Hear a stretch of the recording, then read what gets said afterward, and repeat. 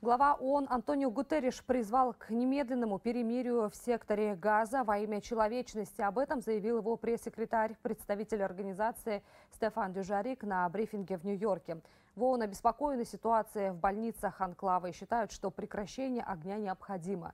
Ранее министр иностранных дел Израиля заявил, что Антонио Гутерриш не подходит для того, чтобы возглавлять глобальную организацию.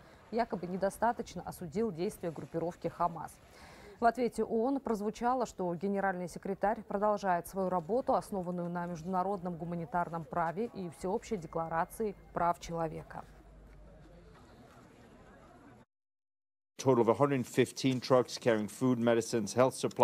Вчера из Египта в сектор Газа въехало 115 грузовиков с продовольствием, медикаментами, медицинскими принадлежностями, бутилированной водой, одеялами, палатками и средствами гигиены. Таким образом, число грузовиков, въехавших в Анклав с 21 октября, превысило тысячу. В секторе Газа наблюдается острая нехватка самого необходимого – продовольствия, воды и топлива. Всемирная продовольственная программа выразила свою обеспокоенность по поводу рисков недоедания и голода.